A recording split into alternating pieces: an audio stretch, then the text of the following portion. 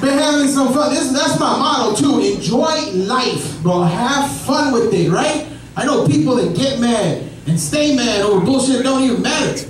Had a friend call me up one time. He's like, "Hey, I think I'm suicidal." I said, "No, bitch. You're selfish." There's a difference, right? Like, who the hell are you to think your life's the worst? If you're having a bad day, turn on Jerry Springer. Feel better about yourself. Shit.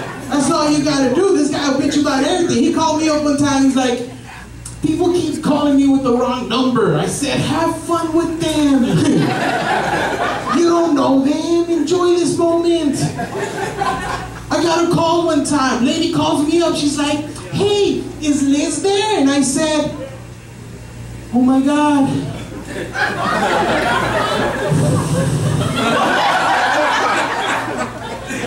Are you sitting down?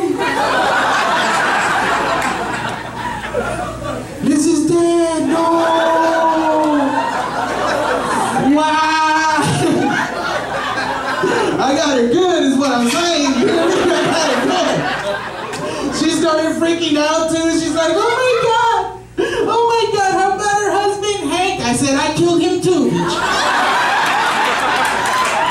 I killed him too. And your name I'm on my way over. And I probably scared the shit out of her. Like she's probably rocking back and forth under the shower in the bathroom for about a week and shit.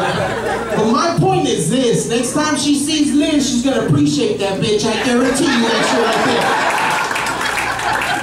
See what I did? See what I did? I just strengthened that relationship. Is what I did. You didn't get a thank you card or nothing, selfish woman. But enjoy it. You gotta have